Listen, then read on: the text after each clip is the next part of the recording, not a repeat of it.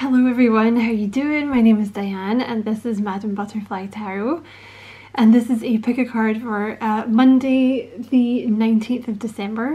When did that happen? Like when did, where did, no, where did December go? like, uh, anyway, so yeah, this is pile number one, the blue apatite. Pile number two is the pink rhodochrosite and pile number three is the red jasper. So, um, I will just give you a second to choose your pile and obviously if you want more time you can pause the video. Okay, so that is pile number three. That's number two. And pile number one, you are the blue apatite. Okay, so pile number one, you have the three of wands, take the lead. You have the nine of swords, You have the Six of Swords. you have the Page of Swords. So many swords, pile number one. And you have the Seven of Wands. Okay. Um, it's time to move on from something, pile number one. Okay, there's something, something from the past um, that's kept you kind of defensive. Okay, it, it's time to look to the future. Like it's time, whatever that was, it's time to move on. Okay, um, there was something in the past that made you very anxious, that was like, you know, made you very sad. There was like a lot of sleepless nights, a lot of overthinking.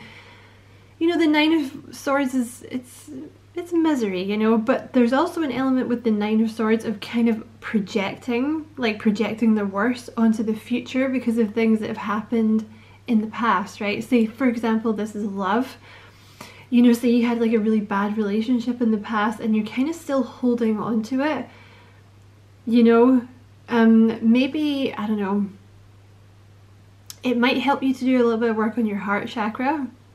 If you want to know how to do that, check out my other channel. The link is in the description box. But yeah, see with the Six of Swords here, like it's time to move on from whatever it is, okay? Like let your defenses down because whatever it is, it's over now. Okay? I feel like this may be for those of you like maybe this happened like I don't know six months a year maybe it's been like a while you know what I mean? And you've still been kind of holding on to it because whatever it was it was really shitty right? But yeah it's time to stop kind of projecting it onto the future. So um yeah definitely maybe some heart chakra work might suit you pile number one. And maybe a little bit your root chakra as well okay I hope that was a useful message, pile number one. Thank you so much for watching. And as always, I wish you many, many blessings, love and light. Take care.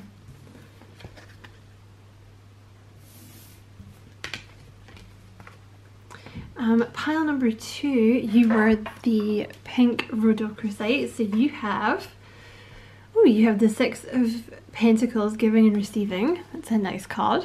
So that's a nice card. You, ooh, you have the lovers, which is also a number six. So this is harmony coming into your life. You have some kind of relationship coming in now, and I'm going to say it's like romantic love because you have the pink rhodochrosite. It's definitely someone new as well. Um, like a newer energy. Like this is not some like this is not a person where you have tons and tons of baggage you know what I mean and it's equal give and take is the thing this is a soulmate energy as well. Like when you have the lovers, it's a soulmate. So this may be someone that you've been in separation with. Or it could be someone totally new that you've not met yet. But it's like very equal give and take, you know. We have the Emperor. Ooh, this person coming in, they could be an Aries. But this is like daddy energy, mummy energy. Um, you have the Knight of Pentacles. So this person is very, very stable and you have the Six of Wands here as well. So there may have been, you may have been attracted to pile number one. I have no idea if this camera is straight or not. I'm really sorry if it's squint, like I'm, I'm sorry. I can't, I can't get it straight today. Um, there may have been a bit of a delay with this and I think some of you watching this may have been attracted to pile number one. Like there may have been something in your past to do with love that was very um, like it really floored you you know there was something that really hurt you in the past and it took you a while to recover from it So I feel like that's why this has been delayed coming in because you were kind of subconsciously kind of projecting the worst onto like new love and like being a little defensive. Totally get it. You know, it's all subconscious. Nobody does it on purpose, right? But I feel that now you've let go of that. It's time for this person to come in. Um, very, very stable. Okay, maybe slow moving, but uh, they're not going anywhere. Like this is someone who's in it for the long haul. Very stable, very methodical, very patient. The Emperor, like I said, this is like daddy, mummy type of energy. Um, specifically it's daddy energy because it's the Emperor. So even if you're dealing with a woman, she might have that kind of boss energy, you know what I mean? Um, but very loyal, very faithful, usually very successful, very wise, very well respected. Mm -hmm. And I think you've also been learning, pile number two, you've been learning to receive. Because this person is someone, like they want to give to you. And I know that you're going to want to give to them, but this is someone who's going to want to give back to you. You know, it's like very equal. But I think that, that those of you that chose this pile have been learning how to receive so that um, when this person eh, came in, you know, you were actually receptive to their help and to their love and stuff. Because they're going to want to do nice things for you, right? um, so that is your message pile number two. Uh, I hope it was useful. Many thanks for watching. And as always, you know, I wish you many, many blessings, love and light. And pile number three, you were the red jasper. So you have the Six of Cups, Simply Love. oh, my throat totally closed up there. um, you have the Three of Swords. Okay, so there's been some kind of heartbreak in your past. You have the Queen of Cups. You have the Six of Cups again. Oh my god. Um, definitely something from your past. You have the Ten of Wands. And you also have the Five of Cups. So there's, you take this as it resonates, okay? But I'm kind of picking up for some of you.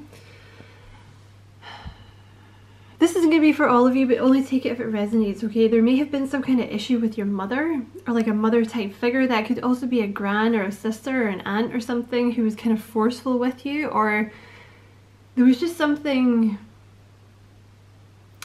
because my throat closed up which makes me think you know usually the throat closes up like that in situations where you kind of learn that it's not in your best interest to speak your mind or to ask for your needs to be fulfilled. So you may have had like you know some kind of female figure when you were younger. Could even be high school like bullying or something. That that kind of squashed you a little bit or you had to repress your feelings and your needs so you wouldn't upset them, okay? That's only for some of you. If that's the case, I feel like you're finally releasing that and your throat chakra is going to open because it's like it's safe. I know it's safe now for me to kind of speak and say what's on my mind and speak my truth and my needs and whatever, right? And for those of you who do something creative, that's really, really going to help you because the throat chakra is like the seat of self-expression. So when it's blocked, you, you know, how can you be creative, right? The red jasper stone that you chose is known as the warrior stone. So I feel like um, I feel like there may also have been a heartbreak here. You have the two, the six of cups twice, and the five of cups and the three of swords. So there was some kind of there was some kind of heartbreak to do with like a love affair where the person, you know, broke your heart basically, okay? And I think you've carried this around for a while with the Ten of Wands. Spirit wants you to know that the reason for all these things happening in your life was to turn you into a warrior, okay? Because the Queen of Cups is someone who she's really really sweet she's really kind she's really empathetic she's really nice but she actually has a tendency to be like quote unquote too nice and kind of lack boundaries, which again, for those of you that resonated with the mother thing, you know, if you had like a, a mother like that who was constantly overstepping your boundaries, that's something that you're going to carry into adulthood because you don't understand what good boundaries are. because you were never allowed to have them, right? Basically. So all of this has been to teach you boundaries. So it's like you still have the empathy and the love and the intuition and the softness, but now you have the boundaries to back it up where you're like, no, sorry, like you're not stepping over my boundary. This is the line. You don't cross it. You don't like that, then fuck off. I don't care. I don't give a shit. That's the line in the sand. Do what you like. Because that's the kind of warrior mentality where you're still like you haven't let anything break you, but you have let it teach you what you will and will not accept, right? But you're still lovely. So that's your message, pile number three. I hope it was useful. Um, thank you so much for watching. And as always, I wish you many, many blessings, love and light. Take care.